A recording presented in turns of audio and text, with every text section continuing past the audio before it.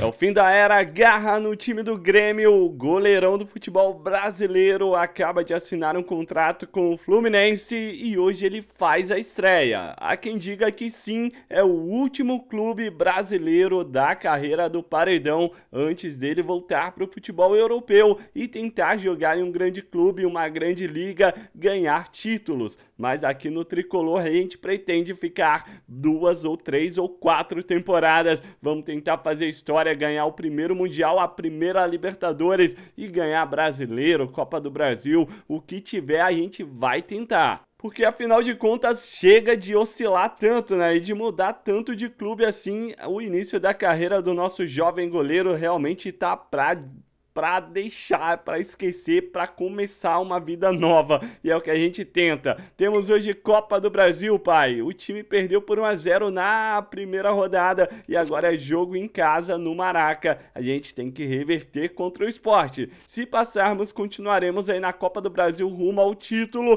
E se der ruim, aí, pai, a gente já faz a estreia na Libertadores hoje. Chegamos com a janela já fechada, então Garra recebeu a número 1 foi maneiro, a gente nunca jogou com essa. E olha o time como tá. Germancano tá no banco de reservas, não sei qual é a do, do nosso querido Fernando Diniz, mas espero que ele esteja sabendo o que está fazendo. E olha só que maneiro esse uniforme do Fluminense de goleiro e também o terceiro de jogadores. Tá bem insano. O Fluminense tem três uniformes diferentes para o Paredão Garra utilizar. A gente vai tentar usar todos hoje e vamos lá para cima do esporte para reverter esse placar. A torcida tá eufórica, o Maraca tá lotado. Desce o cacete no like, se inscreve se é novo, ativa o sininho, siga o pai no Instagram e também o Geração Gamer 2, que é o nosso nosso canal de futebol mobile. Aí já tem jogada ali do La Bandeira. Vai encarando o primeiro, é o esporte chegando. Já tem a vantagem de 1 a 0. Meteu um aqui, mano. Vai complicar demais nossa situação. Eles estão jogando bem, ó. Vem limpando o outro. Aí o paredão funciona e funciona demais primeira defesa no novo clube. A gente nunca esquece e essa merece replay. Uma sapecada ali o Garra espalmando bem pro canto. Naquele jogo do Grêmio do último episódio, a gente espalmou uma no susto no meio, né? E acabou dando gol pro adversário. Chegamos em pela primeira vez, olha só a jogada, o Lima, que corte seco, que jogadaça, vai pintando. Perdeu a bola de bobeira, mas voltou pra ele. Caraca, mano, tá dentro! Aqui até a sorte tá do nosso lado. O Lima já tinha perdido a posse de bola, tava nem aí com o lance. Bola sobrou pra ele, chutou, bateu no zagueiro, matou o goleiro, morreu na rede. Que que é isso, velho? Bateu no calcanhar dele. E essa bola tá enfiada ali no tapa, espalma garra! Ele vai revelar o nome, eu sei que eu tô enrolando desde o primeiro episódio a gente já tem mais de 20, mas ele vai revelar o time do coração e também vai revelar o nome verdadeiro. Já passamos da metade do segundo tempo, o jogo tá acabando, mas tem jogada nossa, hein? Aí o tapa pro meio, camisa 17, mete na rede! Agora no agregado a gente tá eliminando o esporte. Tá 2 a 1 pro Flusão, mano. O Ganso é o capitão do time, tava pedindo essa bola, mas não teve pra ele não. Só que é o seguinte, velho, se o esporte fizer um gol aqui, eles passam no critério de gols marcados fora, que ainda existe nesse jogo e não mais na vida real. Então a gente tem que ficar muito atento, hein?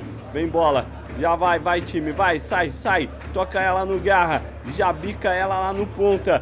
Vamos tocar, ó, Garra mandando os caras irem pra frente. Já tá aparecendo um pouco, né, do, da liderança, que é uma das habilidades especiais que a gente tem.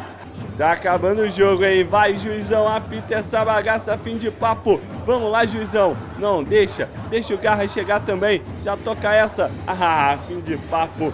Vencemos e convencemos na estreia. A gente fez duas grandes defesas. O time venceu, eliminou o esporte. E bora para a próxima fase.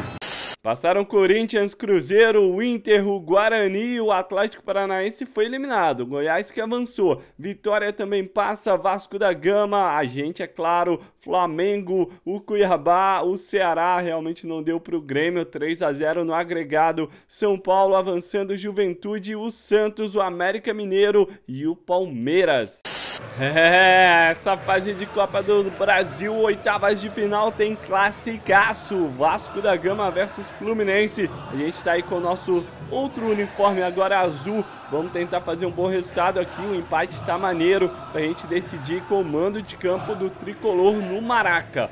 Tem aí o Vasco, a primeira chegada no finalzinho do primeiro tempo é com o chute do Figueiredo. A gente foi ali, mas a inteligência artificial não deixou o Garra defender. E para quem tá curtindo a série, sabe muito bem que o Figueiredo é o cara que foi parado com a nossa maior defesa da vida, a chamada defesa do século, que nos deu o prêmio Luva da temporada. Luva de ouro por uma excelente defesa como essa. Lá vem aí o Piton, hein? Meteu ela na segunda trave, é só tiro de meta.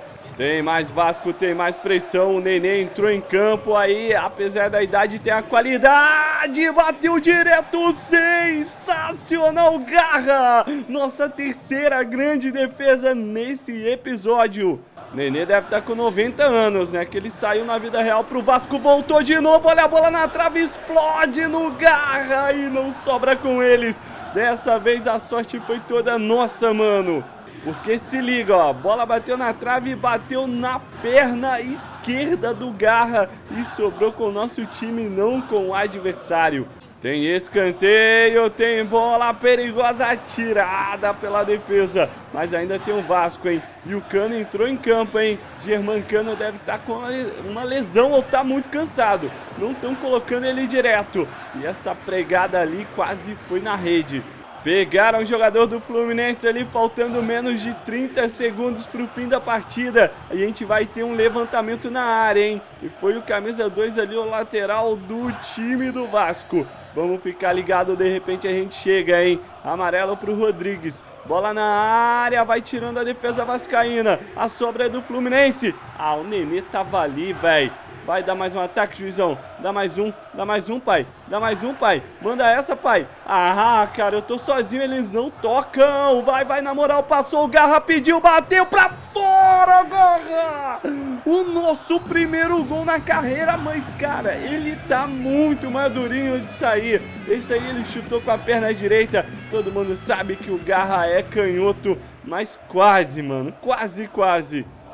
Já estamos aqui no jogo da volta, é no Maraca. Olha só o barulho da torcida gritando: Nense, Nense, Nense. Vamos lá, garra. Nosso terceiro uniforme pro episódio de hoje. Ele tá maneiro, hein, mano? Tá na grife com esse laranjão aí.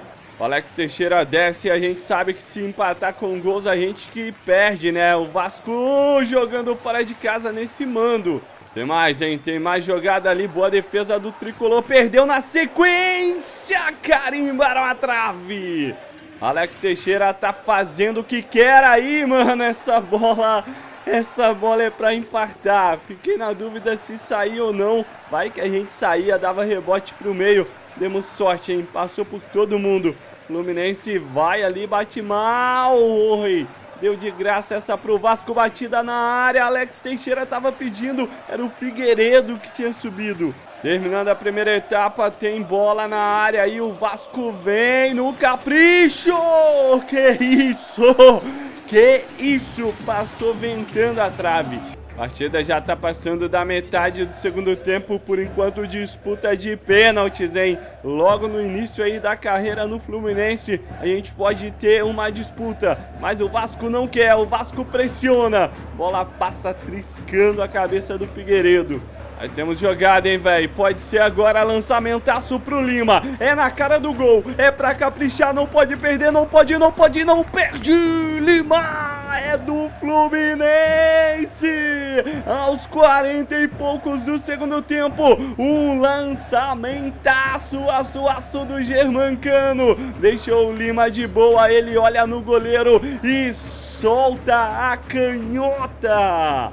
Tem alteração no Vasco, Pedro Raul vai saindo, mano, é só tiro de meta. Só bate e acaba, juizão. A gente tá 100% com a camisa tricolor. Dois, três jogos, né? Dois clássicos contra o Vasco, mais um com o esporte. Estamos sem tomar gol por enquanto.